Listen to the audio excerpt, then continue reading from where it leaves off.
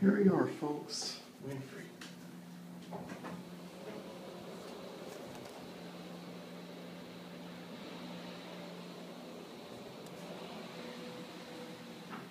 Let's get door open.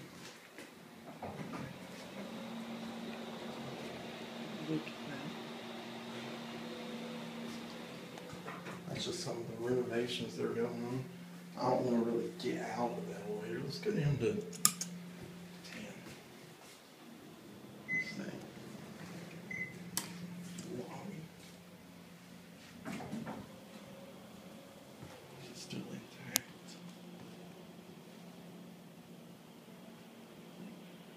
Yep.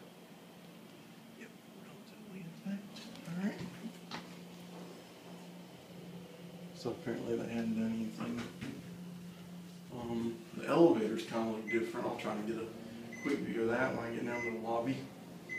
Hi.